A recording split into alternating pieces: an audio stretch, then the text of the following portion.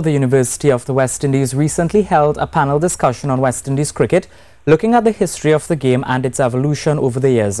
Among the panelists were former West Indies players Deryck Murray and Phillo Wallace. Kent Fuentes has more. Cricket came to the Caribbean during the period of colonialism in the region. And according to West Indies great Deryck Murray, this was not necessarily a bad thing. But like everything else, you take the good and you recognize what is not good, and therefore you adapt the suit.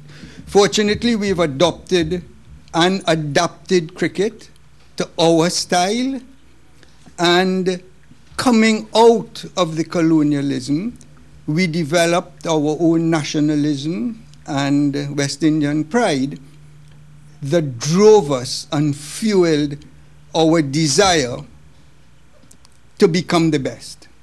There came a time when West Indians were playing their club cricket in the English leagues, which has changed as former opening batsman Phil Wallace believes the appeal is not the same for modern cricketers.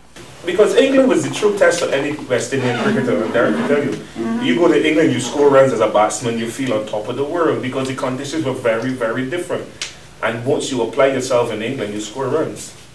But you know, the modern cricketer now don't see England as, as no stepping stone to international cricket. Mm. Deryck rightly said, the shorter version. We go there, we score 50 and 15 balls, somebody say, come and play IPL.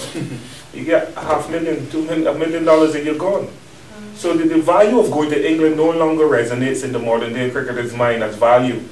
With the West Indies defeating England 2-1 in the recently completed Test series, Wallace adds, we must always defend home turf. This this year, if we whitewashed, if we blackwashed them here, it would be the 30, this was the 35th year of it happening back then in 1984. When we went there, we whitewashed them and they thought it was a fluke. But then we went, they came here in 1986 and we said, okay, we're going to beat you. And we beat them badly again. We beat them 5 0. And as Deryck rightly said, if people come into your backyard, they should not beat you. Don't care where they rank. Kent Fuentes, TTT Sports.